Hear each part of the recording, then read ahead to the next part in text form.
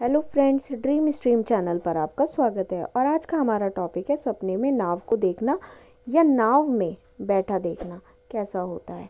तो video start करने से पहले प्लीज़ हमारे चैनल को सब्सक्राइब कर लीजिए और बेल आइकन को प्रेस कर दीजिए ताकि हमारी लेटेस्ट वीडियोस की नोटिफिकेशन आप सभी को टाइम टाइम पर मिलती रहें। तो चलिए जानते हैं सपने में नाव देखना कैसा होता है। तो दोस्तों, अगर आपने अपने सपने में नाव देखी है तो यह इस बात की ओर संकेत देता है कि जल्दी आपको उन्नति और आपके जीवन में प्रगति आने वाली है और निकट भविष्य में आपके रुके हुए कार्य पूरे होंगे और आपको धन लाभ होगा। अगर आपको ऐसे सपने आते हैं तो यह सपना आप किसी और को ना बताएँ।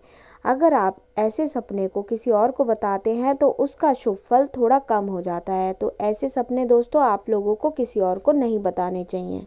अगर दोस्तों, आपने अपने सपने में खुद को नाव में बैठा देखा है तो यह स्वप्न शास्त्र के अनुसार एक शुभ संकेत देता है। यह इस बात की ओर संकेत करता है कि आपका वैवाहिक जीवन एक खुशहाल रहेगा, सुख समृद्धि प्राप्त होगी। यह सपना एक लाभदायक सपना है। यह सपना पारिवारिक जीवन के लिए भी एक अच्छा सपना माना जाता है। आप अपने परिवार के साथ ज़्यादा समय बिताएँगे। तो दोस्तों, अगर हमारी वीडियो आपको पसंद आई हो तो please do like, share, subscribe to my channel. Thank you.